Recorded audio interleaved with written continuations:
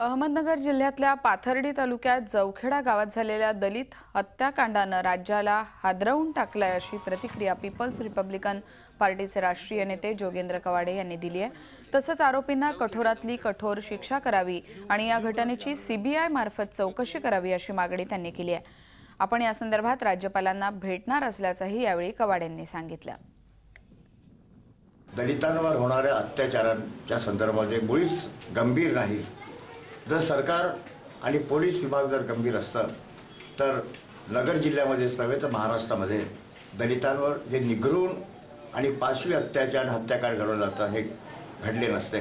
सूडबुद्धीतून दलितांचं अशा पद्धतीने हत्याकांड घडवण्याचे प्रकार म्हणजे दलितांना भयभीत करणं प्रगतीपासून वंचित करणं विकासापासून वंचित करणं मानवी अधिकारापासून वंचित करण्याचे प्रकार दिवसेंदिवस नगर जिल्ह्यामध्ये घडत आहेत. त्यामुळे नगर जिल्ह्याला दलित अत्याचार पीडित जिल्हा घोषित करण्यात यावा अशी आमच्या पक्षाची मागणी आहे. झी चोवीस तास. रहा एक पाऊल पुढे.